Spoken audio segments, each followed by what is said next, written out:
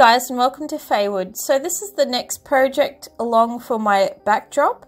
And for this project I wanted to create this lovely little romantic looking um, glass jar covered in roses.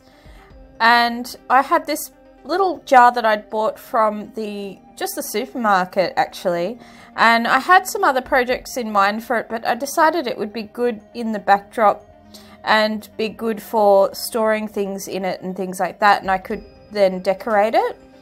So I have this gold lace that I had on hand and I originally got this lace from eBay and it was quite affordable and it's been really handy in a lot of projects so um, you know definitely check out eBay if you're looking for different things like this I'm sure you'd find similar lace like this one. I had I have two different versions of the gold lace and they just come in a big long um, trim roll so um, you cut the little applique sections off as you use them. Now I've used the Boyles craft glue for this which is a really good tacky glue and it just holds things on um, a bit better than say a PVA while it's drying which can be handy if you're wanting to move along through the project a little faster. Having said that though, as I did this, um, as I did a few flowers on one side, I did need to let that dry for a bit before I could then go to the next part to make sure that nothing, you know, slid off or fell off or what have you. Um, I just gave it, I think it was half hour to an hour between sections and um, went on and did other things while that was drying.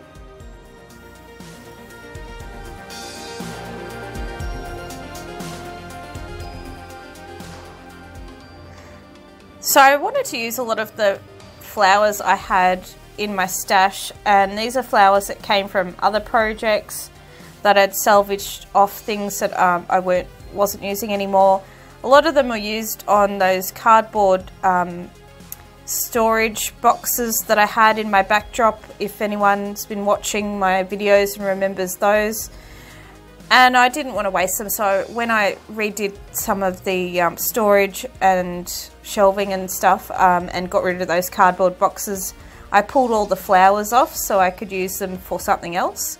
And one of the projects is this one. In fact I think most of the flowers that I had went into this little jar I do have other flowers, but these are all the ones that I've had um, resalvaged from other projects. And I think it's really good when you can do that because, you know, if things can be used in different craft projects, it's not as wasteful then and you can think of um, interesting ways to use things. You can repurpose things, you know. Um, you've seen me use a lot of old jewellery and stuff like that and in this I use um, an old piece of material so I definitely recommend trying to use things you have in your stash and reuse things.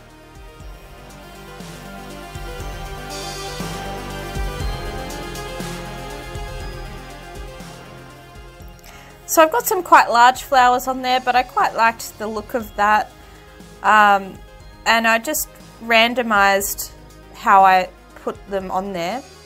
And then for the lid, like I said, I had an old bit of material that I was using and just cut it into a little square. And I've hot glued it around the rim. Now I want to make sure I can still open this jar, so I'm only gluing it um, on the rim itself and not underneath or anything.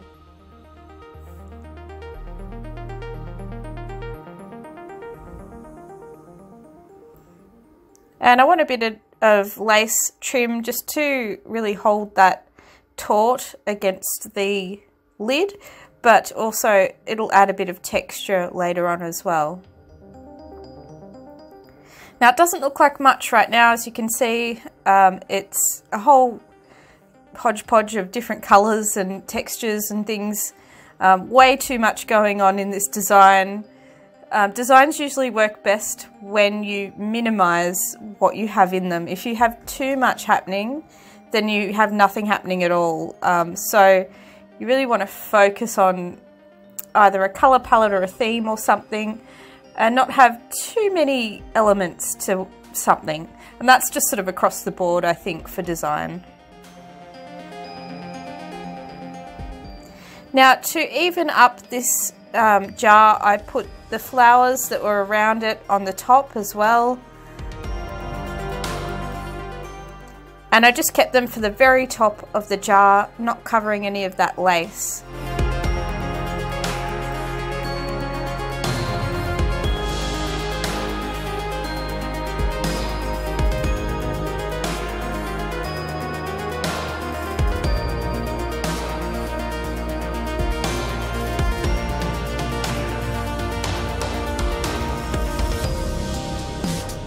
So now it's time for painting and I did use a different colour.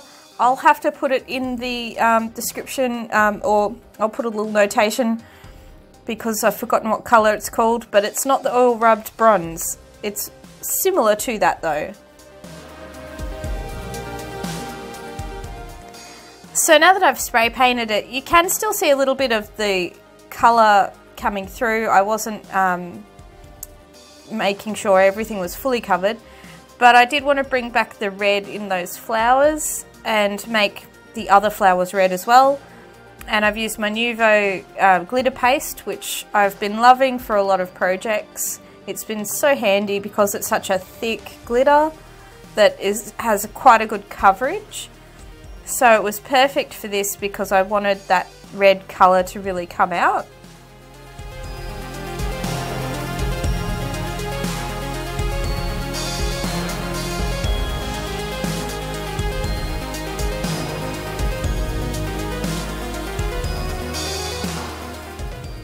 So I just love the way those roses look now with that ruby red colour um, and the charcoal grey and gold. It, I just think it looks so pretty. So there it is so far. Now, me being me, of course I felt it needed some more bling. So I've used the same glue and um, I have these little rhinestones that are quite a gunmetal colour.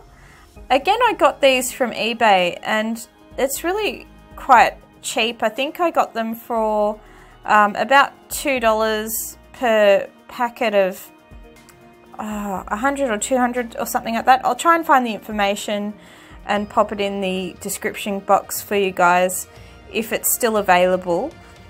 But, you know, just have a look again on eBay. You can see I buy quite a few things on eBay. Um, obviously, I buy them on other places as well, Etsy and um, craft shops and other things, but uh, I have found quite a few good craft supplies on eBay. Now you just do this again bit by bit. Um, you don't want to do too many sections at a time. And I did find it, it dried pretty well by the time I was ready to move along. There was a couple of times where I did a section and needed to let it dry for a little bit before I moved somewhere else just to make sure that none of the crystals were going to move around. Um, you know, especially when you're turning the jar all the way around, you don't want those crystals underneath that are sitting on the table to be wet because they'll just come right off. So definitely make sure it's dry enough between you know, doing different sections so that it's either not sliding off or just coming off because you've sat it on the table or what have you. Now, I happened to find this little piece of um, gold, uh, I don't know if you'd call it ribbon, but um, twine or what have you, that I had in my stash and I wasn't using for anything and it was a little bit um, broken in, like part of it was cut off that I'd used for something um, and it was just this tiny little piece. So I decided to use what I had and wrap it around. And I really like this gold accent at the top. I thought it was a nice finishing touch. So you might decide to do something like that as well. Um, or you could just leave it as it was. And that's the finished project. So a very simple one, this one. Um, but, you know, very doable at home. If you've got flowers in your stash, lace and what have you, give this one a try and pop it in your backdrop and then you can store things in the jar to boot. Alright guys, I'll see you next time if I would. Bye guys.